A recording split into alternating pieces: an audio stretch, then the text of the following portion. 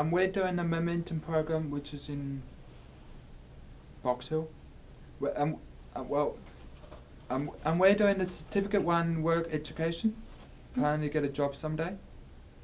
No, I just love it here. I love Box Hill too. The momentum course will help me to um, prepare for me to go into the workplace and get my driver's license.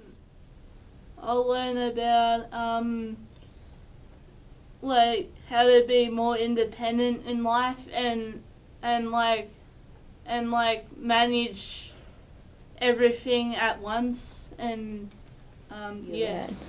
I learned music and art, drawing, writing, and much more. Because they're good friends here. I know a person I know from school. Um, his name's his name's Amir. He's a good man with me, and he's a good, um, I like to read and and writing at the same time. That's good, and I like to do um, live in a good house with my mum.